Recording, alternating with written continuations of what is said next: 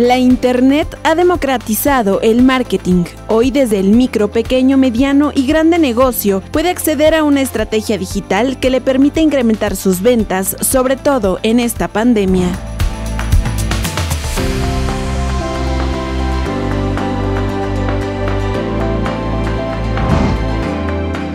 A decir del especialista en marketing digital Alan Montiel, las redes sociales, los blogs, WhatsApp y buscadores como Google son grandes aliados para repuntar las ventas y ganancias, todo a un clic de distancia.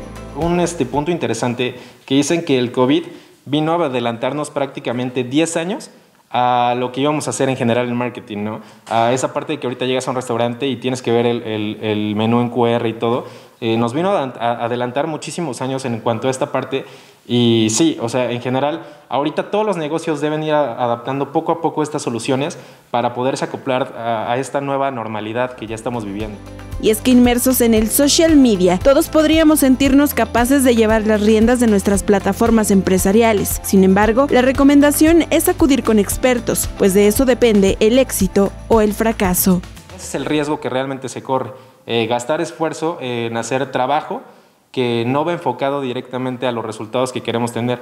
Muchas personas justamente hacen eso, le meten dinero a una publicación y dicen, con esto voy a tener clientes. Entonces, pues cuando no lo hacen de la manera adecuada y no le dan un seguimiento correcto, eh, pues obviamente no obtienen los resultados que quieren y eso hace que incluso tengan como que una mala percepción del marketing. Otra de las sugerencias es que independientemente de que se acerque con los profesionales del área, también se involucre en el proceso. No solamente basta con contratar una buena agencia de marketing y que ellos hagan todo. Es importante que también ellos sepan cuál es el trabajo que está haciendo una agencia de marketing.